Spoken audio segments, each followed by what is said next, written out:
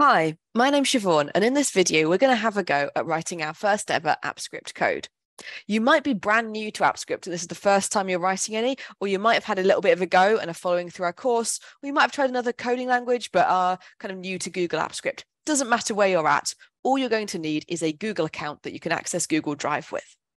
So the first thing we're going to need to do is access Google Drive. So make sure you're logged into your Google Drive account here um, and make yourself a folder for this, the coding in this course. We're going to be doing lots of live coding, which means you're going to be writing code along with us and having a go and seeing if it works. Don't worry if it goes wrong. You can always pause the video at any point and catch up, check on the code. And there's also a written walkthrough you can check if you want to make sure your code matches up because it's not working. So once we've got our folder, we're going to create a new spreadsheet file in which to put our code. A spreadsheet file is a great place to work when you're having a go with Apps Script because often you're going to want to attach your Apps Script to a spreadsheet of data. So I'm going to go to the big new button up here, click on Google Sheets, and it's going to open me up a new Google Sheets spreadsheet file. The first thing I'm going to do is rename this file. So I'm going to call this one my first Apps Script. Here we go, my first Apps Script. You can call it whatever you like, but something that you know what it is. We don't need to put anything into our code um, right now, other than I'm going to write something in one of the cells that we can use Apps Script to find. So I'm going to go to cell B2 and I'm going to write a little message. I'm going to write hello in mine. I would recommend using cell B2 because that's the one I'm going to be using in the code. If you use different cell, you might use different numbers to reference it. So do the same as me. Go to cell B2 and write something in there. Write yourself a little message. Once you've done that, go up to the menu in Apps Script and we go to extensions, Apps Script. And it will open a new window, but leave the spreadsheet open. That's correct. If you close that spreadsheet, this Apps Script window will also close. I'm going to rename my project now. So I click on Untitled Project, and typically I like to give this the same name as the spreadsheet so I don't get confused. I'm also going to call this one My First Apps Script, like so, and click Rename. The next thing I'm going to do is rename the code file on the side. So I'm going to choose rename, click on the three dots and choose rename, and I'm going to call this one first script. Notice I've not put any spaces and I've used camel case. So the first letter of any of the subsequent words have a capital letter. This is just because I wanted to match the name of the function I'm going to use so that it's nice and easy to know what's in the script file. If I click off that, it has renamed my file. And the final bit of renaming before we can get started is to rename the function. So the function is the collection of code that I'm going to run. You can have multiple functions within our Apps Script project. It by default is just called my function, but I'm going to rename it. I need to leave the word function at the start. That's how we create one. But from the bit that says my function, I'm going to just get rid of that and change it to say first script like so. Make sure you've not put any spaces in there. That's why I've used that camel case with a capital S so that I can put multiple words. Also make sure you've left in those round brackets there. Um, and we've also got these braces as well. We need all of these. Brackets are very important in coding. Once I've done that, hit save. You do have to save an Apps Script file, unlike most of Google. So make sure you hit save regularly when working in Apps Script. We'll give a few prompts as we're doing live coding to remind you to save your file. Okay, let's have a go at writing some code. We've only got a few lines to do. So first of all, I'm going to put my cursor at the end of line one make sure it's after the little brace, the curly looking bracket, and I'm going to hit enter twice. So I've got a little bit of space. I can use blank lines in Apps Script and the computer will just ignore them. So I'm going to write a comment. Comments are a way of being able to tell the computer that this is not something for it, it's just something for humans to read. So I do two forward slashes in Apps Script, and that means the computer will ignore this line. So I'm going to write get the sheet, like so. Next, I'm going to hit enter, and then I'm going to create my first variable. So a variable is a way of saving some material with a name in my code to use later. To do it in Apps Script, I write var and space, and then I give it a name. Traditionally, when you're working with a spreadsheet, the first thing you do is store the whole spreadsheet in a variable called SS, short for spreadsheet. So I'm going to var SS, then I'm going to do another space and an equals sign. Then I'm going to do another space. And now we're going to write the code that will get that spreadsheet and put it in our variable. So I do a capital S and I will start writing spreadsheet app and it will actually auto suggest it because the Apps Script editor has an auto suggest. So if I want, I can just click or hit enter and it will auto suggest it. Or I can keep typing spreadsheet and then a capital A app. And if it keeps suggesting it, you know you've typed it correctly. Once I've written spreadsheet app, I'm going to do a dot. That allows me to then access all the commands within the spreadsheet app.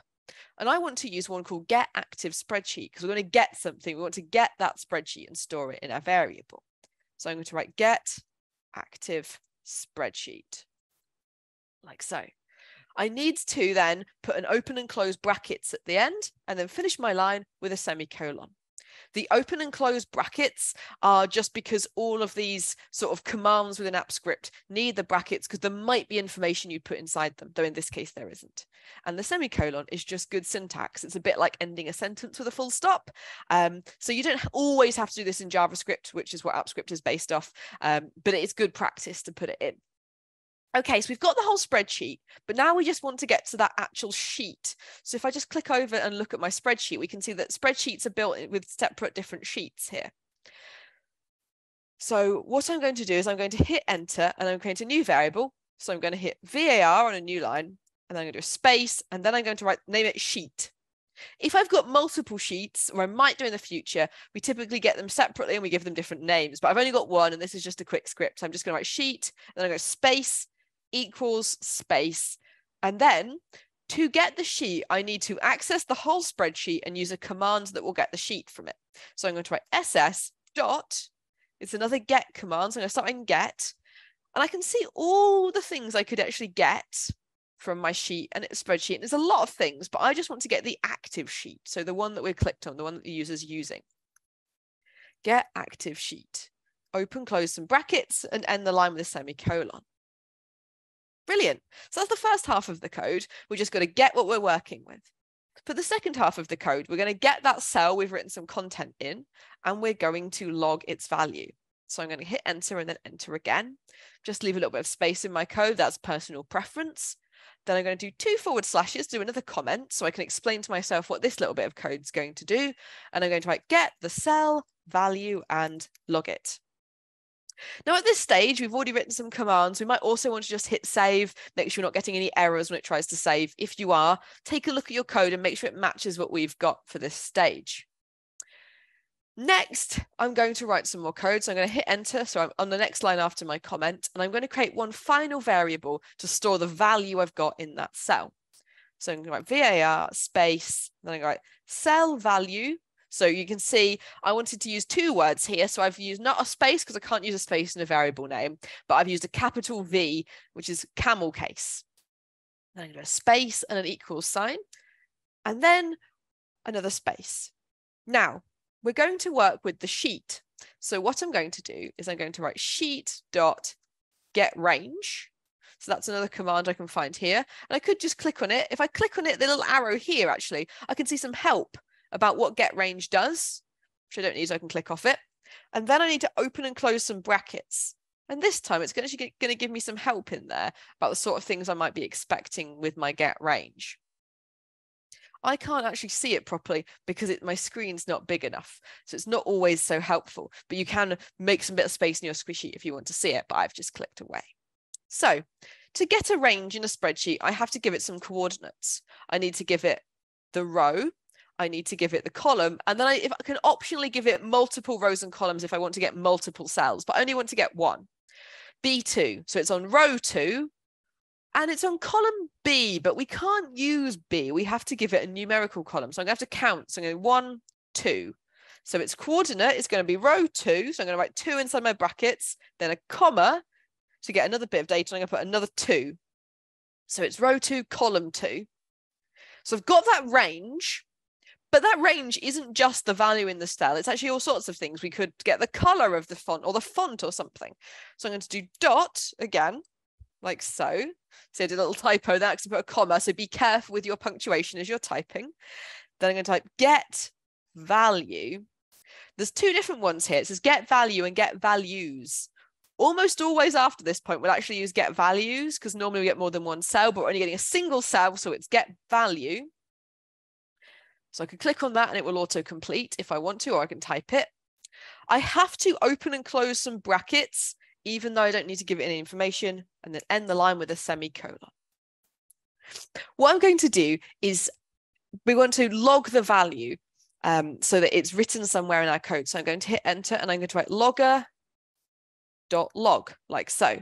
So this allows me to log it just in the log for the code. It's not in the actual spreadsheet. Then I'm going to use some brackets. The best way to do this is to double click and then copy and paste. So I'm going to use the, this, the commands on my keyboard. So you'd be control C on Windows or command C on a Mac to copy, then put my cursor in here and use control V or command V to paste it back in there. That tends to work better than trying to use the right click option. In app scripters, that can accidentally copy the whole line of code sometimes, which you're not looking for. Then I'm going to put a semicolon on the end of my line and hit save. So my code is actually done now. So I'm ready to actually run it. I can use the run button. The first thing to always check is to make sure it's selected the right function if you've got more than one. And then I can hit run. And the first thing that will happen with every new Apps Script project is it will require authorization. So this little prompt here, you click review permissions, and then you choose the Google account you're working in. If you're logged into more than one, it will show more than one here. And then it will say that Apps Script is allowed to see, edit, create, and delete all of your Google Sheets spreadsheets. Scary, right? It actually just means that the code technically could do that if you wrote it into the code. What I would recommend is if you ever use code somebody else has written, don't allow this until you know exactly what it's doing, because it could, in fact, delete all your Google Sheets spreadsheets. But we haven't written it to do that, so we can hit allow because we know what we've written. That's allowed it to run. So you can see it will say the execution log will appear and it will say execution started. It will hopefully tell you what's written in your cell and then it will say completed. I can close the execution log, but I can also reopen it by going to executions um, and I can click on any execution here and it will show me any of the things I logged in this bit as well. But I can go back to the editor on the side too, like this. Now, if that worked for you, Brilliant. Well done. Your first bit of code worked. If not, don't worry. Often goes wrong. Just double check your code and make sure it matches and you've done what I said. If there's not a value that you appeared, check you wrote something in the value and double check you're getting the right one here. If it worked for you, try changing the message. So I'm going to say message two, very original. And then I'm going to run the code again. And this time it says message two. So I can see that it's live updating if I change my spreadsheet. Hopefully that worked out for you. As I say, if it didn't, have a look, go through and see if you can get it working, and then be ready to move on to the next bit of the course. Thanks for having a go.